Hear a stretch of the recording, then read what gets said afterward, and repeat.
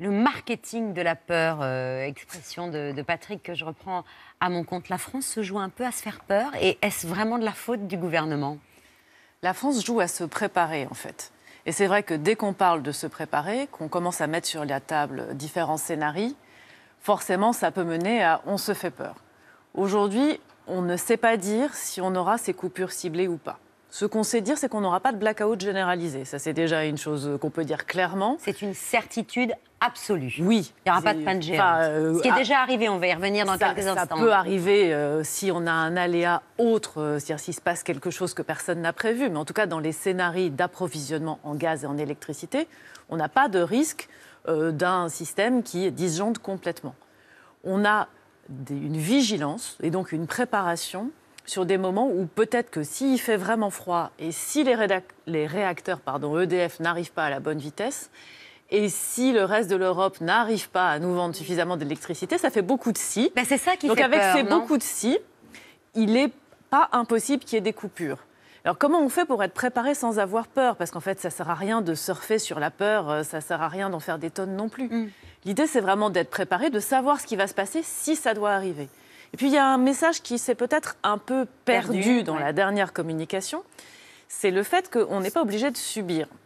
En fait, RTE, donc le gestionnaire de réseau, va nous sortir un signal qui s'appelle EcoWatt trois jours avant.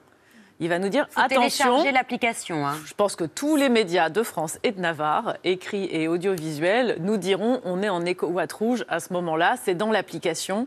Mais je pense que ce sera relayé quand on voit les titres de presse. Donc, on aura Oui, un en rouge. c'est bien. Très confiance en vous. très, très confiance en vous. Quand on aura EcoWatt rouge, on saura qu'il faut vraiment essayer de réduire sa consommation.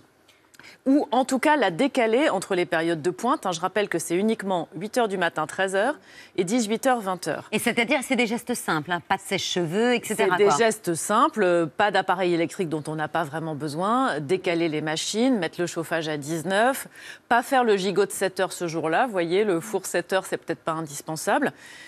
Et du coup, si non mais c'est vrai, c'est aussi des choses, c'est aussi des choses très simples. Et donc trois jours avant, RTE nous dira il y a un risque. C'est évidemment des gestes de la consommation de vous et moi, tout le monde, c'est aussi des ajustements des industriels. Il y a un certain nombre d'industriels qui sont inscrits dans des mécanismes dans lesquels, si on donne une alerte, ils baissent leur consommation. La veille, RTE redira le risque est toujours là ou le risque n'est plus là. S'il le redit, le risque est toujours là, le risque de coupure arrive potentiellement, et là encore, Il est on peut possible d'inverser continuer la tendance. à changer nos comportements. Il est possible d'inverser la tendance. Donc je pense que ce qui serait dommage dans cette communication, c'est que quand le premier signal arrive, tout le monde se dit ça y est, ça va être la coupure, et tout le monde ne parle que de ça.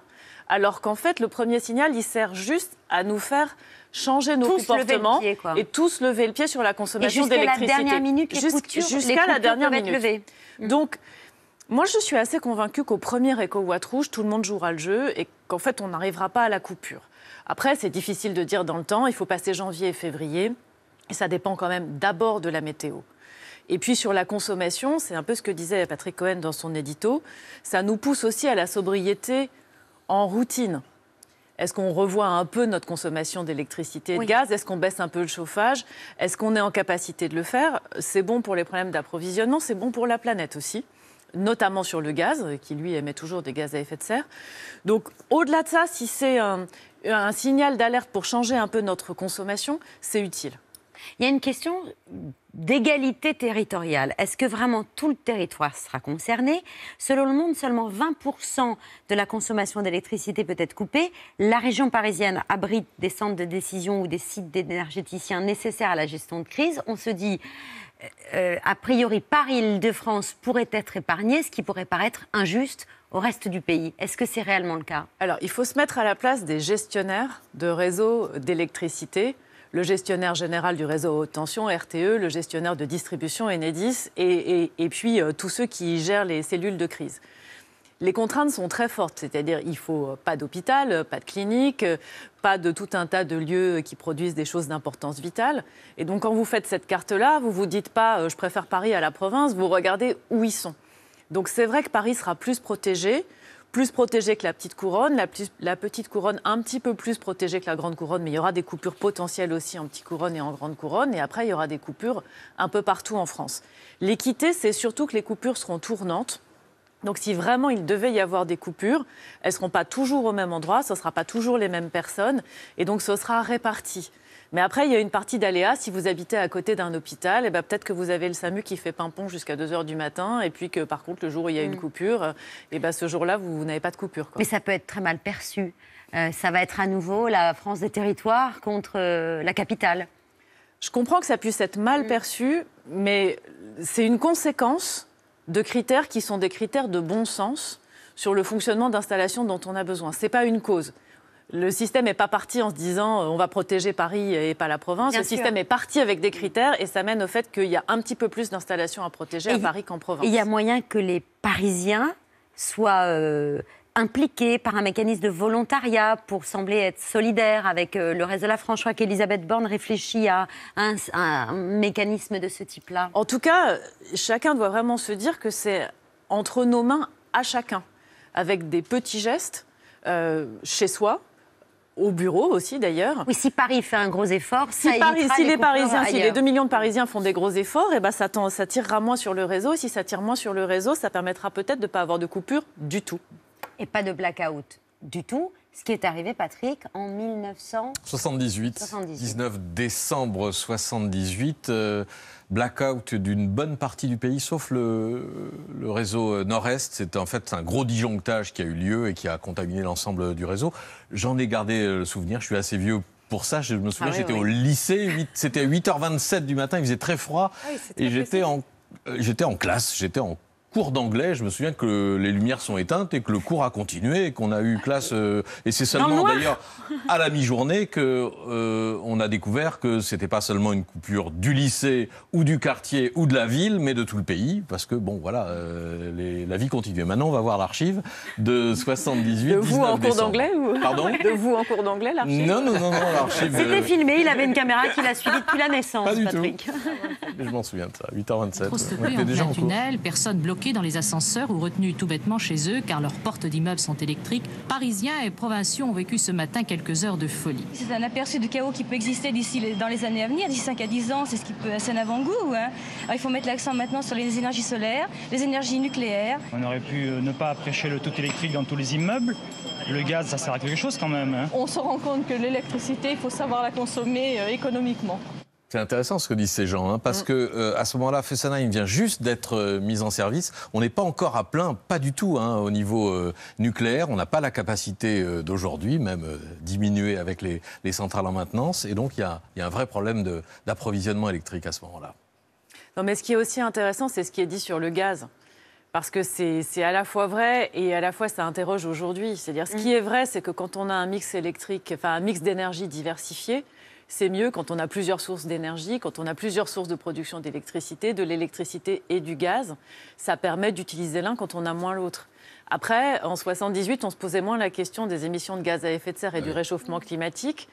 Donc euh, cette personne qui dit bah, le gaz, ça sert à quelque chose, à la fois c'est vrai, bah et à la fois il faut qu'on arrive progressivement à réduire ça au profit d'une électricité qu'on ne produit pas non plus avec du gaz ou du charbon, sinon on ne progresse pas. Et une dame qui dit plus de solaire, et, plus de nucléaire. Donc là, je pense qu'elle a bien résumé les choses. Le gaz, c'est bon, euh, on a le plein pour l'hiver. En revanche, le problème se posera pour l'hiver prochain. Et on espère que d'ici là, pour l'électricité, ce sera réglé. Alors le gaz, on aura effectivement euh, une question euh, encore très ouverte pour l'hiver prochain, puisque on a quand même du gaz russe dans nos stockages aujourd'hui. Donc la fin totale du gaz russe fait qu'on aura plus de mal à réatteindre un bon niveau de stockage l'année prochaine. Et puis, il y a une guerre d'approvisionnement en gaz, en gaz naturel liquéfié. Actuellement, comme vous le savez, la Chine est quand même assez largement à l'arrêt avec sa politique de zéro Covid, dont on voit bien toutes les conséquences. Et donc potentiellement, l'hiver prochain, on ne sait pas très bien dans la concurrence internationale pour acheter du gaz euh, comment ça se passera et à quel prix. En électricité, on est historiquement bas en production nucléaire. En gros, on est 25% en dessous de la production classique. Elle s'exprime en TWh. EDF produisait 360 TWh il y a deux ans et sera à 275-280 cette année. EDF prévoit de remonter. Donc plus EDF remonte, et plus ce sera facile en électricité, et plus on pourra retrouver notre statut normal d'exportateur d'électricité. Normalement, on exporte. En ce moment, on importe, mais euh, c'est plutôt atypique. Certaines entreprises n'ont pas aventu- attendu les éventuelles coupures et prennent déjà des, des devants en modifiant euh, leurs horaires et en travaillant la nuit. C'est le cas de ce fabricant de roues en acier.